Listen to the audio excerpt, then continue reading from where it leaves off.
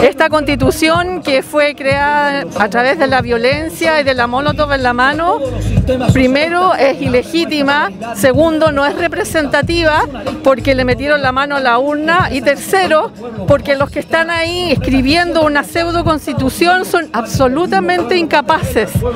Nos están coartando todas nuestras libertades. Por eso voto rechazo. E invito a todo el mundo a que vote rechazo y a que se, se informe qué es lo que están haciendo con nuestra democracia.